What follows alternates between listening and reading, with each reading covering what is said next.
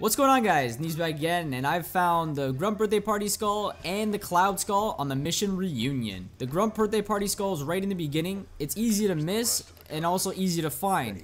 Stay to the right side of the wall, head to a tunnel, follow the tunnel all the way to the end. To the left, you'll find a grunt on a ledge, and he's singing. Let him do his thing, head to him, punt him off the cliff, and you'll have the Grunt Birthday Party Skull.